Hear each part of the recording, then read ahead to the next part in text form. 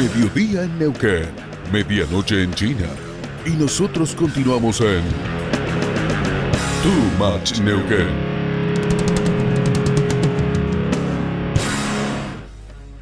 Está mi amigo Claudio Álvarez. ¿Cómo andamos, Claudio? Buenos días. ¿Todo tranquilo? Muy tranquilo. bueno, estamos hablando de fútbol, nos acordamos de la final del Mundial. Y qué manera de sufrir, ¿no? Mamá, cortamos bulones. No tiene esto nada que ver con el tema que él viene a hablar, pero bueno, estábamos recordándolo este, como para ir Tengo un pasado futbolista. Tenés un pasado futbolista, estábamos hablando de Maronese. Eh, bueno, gestor automotor, ahora también se lo llama mandatario del automotor. Mandatario del automotor, ¿no? sí. Eh, históricamente fue la Gestor. gestoría, ¿no? Sí. Gestor. En la Eh, provincia de Buenos Aires es. Es mandatario. es- es- no, es gestor. ¿Todavía es gestor? Sí, sí. Ah, mira vos. Yo me considero gestor porque yo soy de la vieja guardia. De la vieja guardia, está Me bien. considero gestor, pero sí entiendo que somos. Vos tenés tu propia gestoría, ¿no? Nosotros tenemos una oficina, sí. Una oficina y aparte atendés a varias concesionarias. Ten- Atendemos, sí, le hago el servicio de gestoría a concesionarias, a bancos. Ah, bien, muy bien. Bueno, eh, clientes particulares, clientes, empresas. exacto. Casado, tres hijos. Tres hijos. Así es, muy bien. Uno de ellos periodista deportivo. Uno de ellos periodista deportivo. Mirá vos. así Colega. que Algún día lo vamos Colega a traer Martín, acá. Algún colega. día lo vamos a traer acá a la radio. Este. Estás viviendo acá en Neuquén, ¿no? Sí. Nicolás está bien, Ah, sí. Muy bien. Trabaja en una en un grupo colega. En un grupo colega, sí señor, sí señor. Bueno, eh, a ver, ¿la idea cuál era? La idea es charlar sobre algo que parece obvio, pero mucha gente por ahí mete la gamba por una sencilla razón. Me quiero, lo primero, me quiero ahorrar el, costo de intermediación. Me quiero ahorrar el gasto del gestor. Eh, entonces yo lo voy a hacer. Y se ponen de acuerdo comprador y vendedor y dicen, no, nos vamos al registro, hacemos los papeles. ¿Qué pasa muchas veces? Que no se chequea bien toda la documentación, que por ahí no se hacen las preguntas correctas en el registro y a posteriori de la operación de compra y venta aparecen problemas. Che, no, mira que te olvidaste de firmar el- la denuncia de venta, que no hiciste aquella cosa, lo otro. Eh, había que hacerla, no, me- no sabía, no me dijeron. Entonces, lo que siempre digo yo por aire es, ante la duda, esto es como, sí, hay que cambiarle el cuerito a la canilla. Bueno, eso lo cambio. Ahora, si tengo que hacer otra cosa más, llamo a un plomero, porque él sabe, qué sé yo, no a mandar, la- mandar el moco de hacerlo Claro. yo, ¿no? Lo mismo pasa cuando uno compra y vende un vehículo. Estamos hablando de un capital que tenés que defender y que por una mala acción lo podés perder o podés perder mucho dinero, digamos, ¿no? Así que arranquemos por lo más eh, sencillo y básico. Vamos a comprar un vehículo o vamos a vender un vehículo. ¿Qué cosas sí o sí hay que saber? Bueno, mira, eh, yo te, te voy a, a dar un ejemplo. Yo te voy a poner un ejemplo de, de alguien que, que influyó mucho en mi vida comercial de esto. Eh, una persona que no está más en este mundo, pero que comercialmente me enseñó muchas cosas. Y él siempre tenía un ejemplo que decía, cuando vos compras una casa, te pones el traje del casamiento, o el mejor traje, el vestido largo de la patrona, van a la escribanía, firman, y cuando compras un auto, vas a la gestoría o vas al registro. Aunque en esa época no era tan común ver particulares dentro de un registro, sino que eran más mandatarios, pero bueno, o gestores de esa época. Pero vos vas con el, saliste del taller mecánico que estuviste trabajando y vas a firmar. Toda Sí. la mano llena de grasa. Sí, sí. Eso refleja un poco la, la situación de que por qué muchas veces, como vos decías recién, es un capital al cual uno llega después de mucho esfuerzo, probablemente, más en estas condiciones que estamos en el país, y no tiene en cuenta un montón de cosas. Siempre se recomienda, siempre se recomienda tener antecedentes de la- del dominio, como un informe de dominio. O sea, es indispensable arrancar pidiendo un informe de dominio. Un informe de dominio Sí, voy a comprar tal auto, quiero saber en qué, en, en qué situación eh, legal. legal está claro, porque el, dom- el, domingo, el dominio, ¿qué refleja? Si el vehículo está disponible para transferirlo mañana o si la información que da puede ser desde una inhibición general de bienes por parte del titular registral, puede ser, estar un embargo de Eso la su- unidad. suele pasar. Sí, sí, sí, pasa muchas veces. Eh, ahora se informa también, ya hace como dos años, se informa del fallecimiento del titular registral, si consta por consulta que hace el registro seccional con el RENAPER, eh, si tiene prenda una prenda vigente, eh, si tiene denuncia de venta, porque por ahí quien se lo vende no es el titular registral, eh, y si ese titular registral denunció la venta y hay una prohibición de circular. Mira, ahí llega una pregunta. Sí. te mando un saludo muy grande, Delfina. Ah. Dice, ¿qué hacer cuando a un auto no se le realizó la denuncia de venta? Eh, ¿Hay que hacer la denuncia de venta sí o sí? Eh, Siempre. antes que nada, hola Delfina, Sí. ¿cómo estás? Eh, bueno, eh, la denuncia de venta indispensablemente hay que hacerla, aunque yo siempre digo, aunque se lo vendas a tu hermano, a tu padre, a tu Sí. madre, o- hay, hay que hacerla, porque es una, es una cuestión que tiene que ver hasta con lo impositivo, tiene que ver con muchas cosas, pero por sobre todas las cosas, porque si vos entregaste una unidad en confianza, le salió un negocio a esa persona que vos le entregaste, lo vendió y esa persona tiene un accidente, levanta a alguien en el aire, eh, vos sos el responsable de todo eso. Legal. Legal, claro. Claro, porque- Entonces te exime la denuncia de venta. Siempre, siempre uno que ve el gasto que puede generar eso. Y muchas veces no lo quiere hacer. Y es un gasto. Después nos pondremos a charlar si es, es poco, mucho Sí, sí. lo que cobra el registro eh, o el arancel, que no lo cobra el registro seccional. No es una historia del registro seccional, sino que es una historia de, de la Dirección Nacional, que es la madre de los registros seccionales, la que impone los valores, o el ministerio en este caso sería. Che, los que quieran hacer preguntas y estén conectados pueden hacerlo, ¿eh? incluso si tienen algún caso que les ha pasado Mm. o tienen algo sin resolver. Bueno, Después le pasamos los honorarios acá por No, no hay problema. la, la denuncia de venta es. ¿A qué un- pensaste que esto era gratis? No, No. está en pedo, ¿no? Lo cobramos la- todo. Claro, la denuncia de venta es una herramienta legal fundamental Sí. porque exime de, de todo tipo de responsabilidades. Puede haber una responsabilidad de los del impositivo municipal, por ejemplo. También. Eh, La, la municipalidad de Neuquén no reconoce la denuncia de venta, sino que pasa a ser un... fi- O sea, yo soy el, el titular registral, te transfiero a vos, o te denuncio a vos como comprador, mejor dicho, yo paso a ser un fiador solidario tuyo ante la deuda de patentes que pueda generar ese vehículo. ¿Ah, sí? Exactamente. En, en muchas jurisdicciones No impositivas te lo toman y te, te deslindan de esa responsabilidad. Obviamente lo civil, lo criminal, todo eso está cubierto Está bien. con la denuncia de venta. Pero no lo impositivo. En, En- en algún caso puede haber- no haberlo impositivo o, o- o sí. Eh, Puede haber al- alguna municipalidad acá de, de nuestra provincia que Sí. por ahí lo toma y inclusive algunos lo toman hasta con la simple mención de que lo vendiste, te lo dan de baja inclusive. informe de dominio. Eh, denuncia de venta. Sí. Verificación. Verificación policial, formulario 12, que eso se hace eh, en policía de la provincia. Se puede hacer, se solicitan turnos por la aplicación Mineuquén, Ujú. es una de ellas. Se puede hacer también, se puede verificar en la provincia de Río Negro, eh, lo que es el departamento de General Roca. Lo puede verificar aún cuando el vehículo esté radicado y, y en Neuquén y siga quedando en Neuquén. Y si es de otra provincia también, Eh, te- sí, hay sí, acceso. también, sí, sí. Ya desde hace un tiempo no se visa más, antes se, se- se solicitaba un visado al formulario 12. Hay también muchos 12, muchas, perdón, muchas jurisdicciones que tienen el 12 digital, o sea que simplemente con una copia del 12 es- el registro seccional lo que hace es constatar la veracidad de ese 12. Eh, el 08, El 08. el 08, firmado por el, por lo menos firmado por el, por el titular registral, si es casado o casada, eh, también la firma de, dando el asentimiento la, el ¿Cuándo- cónyuge. Sí, ¿cuándo soy dueño de ese bien? ¿Cuando firmo el 08 o cuando hago la transferencia? Cuando el hecho jurídico es la transferencia, la inscripción Claro. de la transferencia.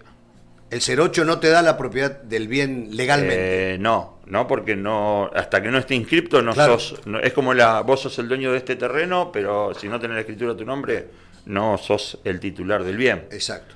O sea que Mueble o inmueble, lo que sea. Claro. Sí o sí, tiene que estar inscrito en el registro automotor. transferencia. Transferencia. Transferencia. Exactamente. Eh, También es bueno pedir un libre deuda de patentes, Claro. un libre deuda de infracciones nacionales, un libre deuda de infracciones de acá, por ejemplo, tomando como referencia si el vehículo está inscrito acá en Neuquén. ¿Eso se pide en los juzgados de faltas? en los tribunales de falta Tribunales de y falta, claro. también eh, ahora pasó a ser eh, las infracciones o las deudas de SAEM, pasó a ser también un tributo así que también tiene, es, está equiparado a lo que es... El estacionamiento medido. para Exactamente. aquello. Ujú. Eh, El Z, el Z, eh, si se amplió el monto a partir del primero de mes, se amplió el monto a 4.500.000. O sea, todo lo que supera en la operación, o sea, en la venta o la compra-venta, o el valor de tabla supera los 4.500.000 pesos, en ese caso eh, corresponde el Z. El Z. Y también, si es un vehículo que supera los 8.400.000 pesos, hay que demostrar el origen de los fondos. si supera cuánto, 8.439.000 pesos sería el monto exacto. ¿y eso cómo se justifica? Eh, O sea, eh, lo podés- hay varias formas de justificar. bancario. O podés presentar documentación bancaria que acredita que salió de tu cuenta Claro. y si tomando como referencia al comprador vaya a ser el, el titular registral, eh, el movimiento bancario o una certificación contable que lo puede hacer un, un escribano, Ajá. justificar de alguna forma, no sé, por ahí vendió un terreno y con ese bien, dinero... con esa plata tiene- compré un auto. Exactamente. Hay que justificar. Hay que Arriba justificar. de los 8 millones, ¿cuánto? 400 mil pesos. 8 millones 400 mil Sí. pesos. Y el Z es, es- es obligatorio solo a partir de los 4 millones y medio. 4 millones 500 mil pesos, exactamente. Eh, Z es el certificado de transferencia al automotor. Exactamente. Ese es y es Z con un C. para virtual él. 08, Es un claro, un virtual 08 es, es, una, es como una especie de contrato, aunque no lleva firma ni nada, es un comprobante que eh, no hace falta ni siquiera presentarlo en el registro, sí mencionarlo, el número de certificado en el que se imprime en el formulario 08 o se Al- inserta en el formulario 08. ¿Algún documento más que falte ahí el título, El título propiedad. propiedad, que bueno, tengamos en cuenta que ya desde el año 2017 eh, está en una nube, el título, lo que se entrega es una constancia de asignación de título, eh, por eso no existe más, yo siempre dice, a mí me dice, no, le hacemos el extravío del título, no, es que si es web no se pierde, o sea, Claro, está en la web, está. Claro, no es que se- no está físicamente y se perdió, entonces bueno, ahora es una ventaja, lo que sí hay que tener la constancia de tener guardado, saber dónde quedó ese mail, que es donde notifica el registro seccional a, a la persona que, que es titular registral con, con eso. Eh, lo puede imprimir, lo puede entregar. Siempre es bueno tener una copia impresa por cualquier cosa Sí, sí, sí. Además de eso, está siempre el resguardo en la web. en la web. Está bien. Eh, y la cédula o las cédulas, eh, si, si autorizó a circular, se da muchas veces que está a nombre de- del papá o mamá Claro. y le dio autorización vía cédula azul, Claro. conocida como la cédula azul. Es, en realidad su denominación es cédula autorizado, para autorizado a conducir. Exacto. Lo que antes era la cédula verde o la comúnmente la tarjeta verde o cédula verde eh, es cédula de identificación. Exactamente. Eh, eh, entonces, eso también hay que tenerlo porque hay que devolverlas al registro una vez transferido a nombre de la nueva persona. Ah, eso se devuelve al Se registro. devuelve, sí, se puede devolver, se tiene que devolver. se tiene que o se hace, a veces se usa, eh, por ahí no, no- hay alguna cédula que se extravió, algo, una simple declaración jurada, certificada por la autoridad competente, que es un escribano o el mismo registro seccional donde está radicado, eh, también eh, es valedero para justificar. Bueno, tengo todos los papeles. Ya está. Vamos a transferir. ¿Cuánta plata gasté ahí en.? Ni siquiera hablo de los honorarios. No, no, no, sí, sí, el ¿Cuánta- gasto- cuánto, cuánto me estoy gastando ya para, para transferir un vehículo? Pongámosle un valor de, qué sé yo, 5 millones de pesos de la. Lo que va a salir el trámite. Claro. Eh, eh, lo que pasa es que, para bueno, que nos den una referencia, más o menos. la referencia, podemos hablar de una licuota estimativa que puede ser entre el 4 y el 4.5% Del valor del vehículo. del valor del vehículo. Eh, hay que tener en cuenta Del valor declarado en transferencia. el valor, claro, eso, eso, por eso hay que varias cuestiones que hay que tener en cuenta que uno es o la tabla o el valor comercial.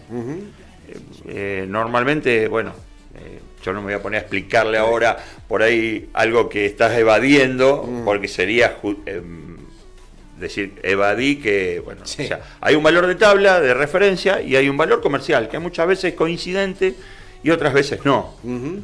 Eh, ¿Qué se usa habitualmente? ¿El valor de tabla? eh, el valor de tabla como mínimo, sí. Es el de Acara, de- El de, eh, el de- sí, en realidad hay una referencia con Acara, Ujú. pero tiene que ver con el valor que eh, emite eh, el ministerio, los valores Ah. que tiene que esa información está provista por terminales, por ACARA, por, por y es un promedio. Es un promedio. Es un promedio. Está bien. sí. No es valor fiscal. Eh, sí, es un valor fiscal en realidad. Ah, termina, siendo, fiscal. termina siendo un valor fiscal de Está bien. referencia para el trámite. Está bien. ¿eh? Porque puede pasar de que eh, el valor es en tabla 4 millones o 5 millones, para usar el mismo Sí. ejemplo que vos dijiste, pero eh, le querés decir que, bueno, pagué 3 millones de pesos, mentira piadosa, puede ser, el registro te toma como referencia los 5 millones, para cuál te va a exigir el Z. Hacelo por 3 millones 500, lo haces por 3 millones 500. Bueno, después ya es algo a lo que las personas se tienen que atener Sí, eh, ante una eventual investigación por parte de la UIF en estos casos. Bueno, pasa muchas veces con eso, con lo que tiene que ver con sujeto obligado, que ya es otro tema, que tiene que ver con lo que te decía de los 8 millones 400, Exacto. que va más con eso que con otra cosa. Ni más ni menos. Bueno, eh, me dijiste más o menos entre el 4 y el 5% Sí, entre el 4 y el 5%. del valor de del valor, sí. del valor Hay que tener en cuenta también otro- para los valores, bueno. Y to- eso, ¿quién lo sí, me decía? No, te decía que eh, las alicuotas son el 1,5%, el valor del arancel, para todo lo que es fabricación nacional y Mercosur, y fuera de lo que es Mercosur, México, Europa, Oriente, es el 2%, la alicuota aplicada al arancel. Y en Neuquén, lo- lo- el otro, la otra alicuota, que, que es el número también grande, es el 1,4% del valor que se declara respecto del impuesto de sellos. Ah, está bien. Para Río Negro o para todo el resto del país, todo lo que es nacional o Mercosur es el 1,5%, el 2% fuera Mercosur, para, es para todo el país. Para la provincia de Río Negro, pues ta- estamos tan cerca que también eh, seguramente va a haber gente que, que estarán viéndonos y es, es el 2%, lo que acá es el 1,4%, el impuesto de sellos, en Río Negro es el 2%. El 2%. Por eso por ahí en Río Negro es un poquito más caro eh, respecto de los valores. ¿Qué paga el comprador y qué paga el vendedor? Eso es una vieja... Es un, yo digo que es un mito. ¿Es un Eh, mito? Es un mito, sí. No hay nada que diga que uno tiene que pagar una cosa, o una parte, o todo, o... Generalmente se ponen de acuerdo entre las Es un acuerdo de partes. Ajá. Yo siempre digo que es un acuerdo de partes, porque... eh, nada, hay gente, yo por ejemplo tengo clientes que me dicen, Claudio, haceme la transferencia, vos, yo te pago los honorarios y eh, la Todo. persona me compra, paga los gastos. O te dice, no, yo pago todo para quedarme tranquilo.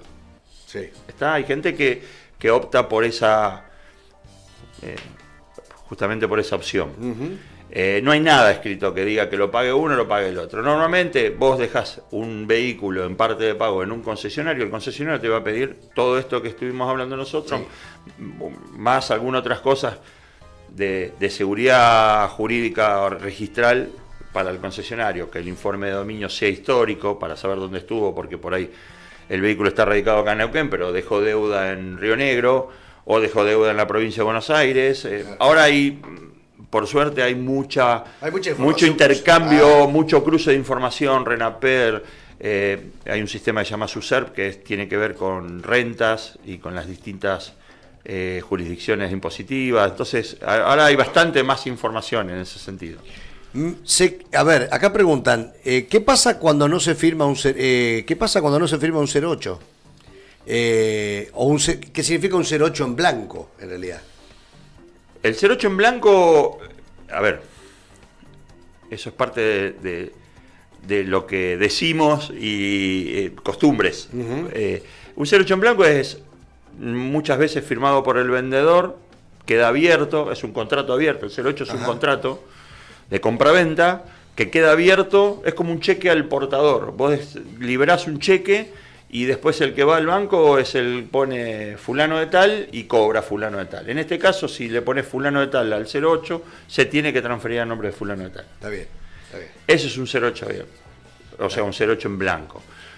O puede pasar que también hay gente que tiene un 08 y no está firmado ni por el vendedor ni por el comprador, para lo cual es un 08 En blanco. en blanco. En blanco, No hay nada, no hay nada que, que diga que es titular o algo por el estilo. Corto, una, el honorario hoy de un gestor, eh, ¿qué ¿es un porcentaje? No, no, ahí Se arregla. Es un valor, sí, es un valor. ¿Está normado eso o no?